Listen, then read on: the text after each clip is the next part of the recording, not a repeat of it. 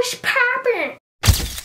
What's up guys? Welcome back or welcome to my channel. Yeah, that was difficult to think of. Today I'm going to be doing me trying to be Maesi Caes from Dance Moms.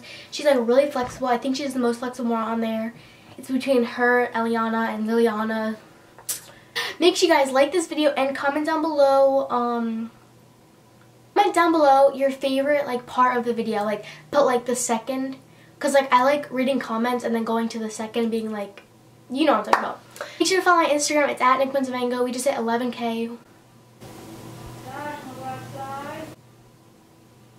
So without further ado, let's get into this video.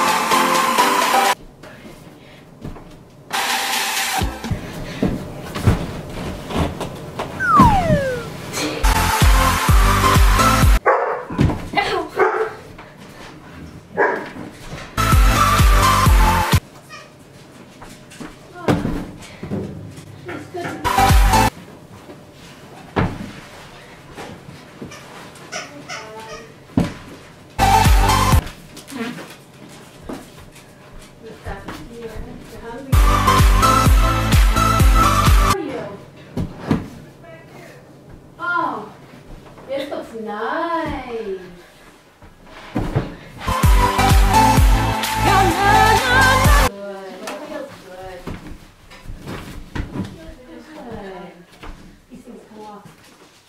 Well, Okay, bye.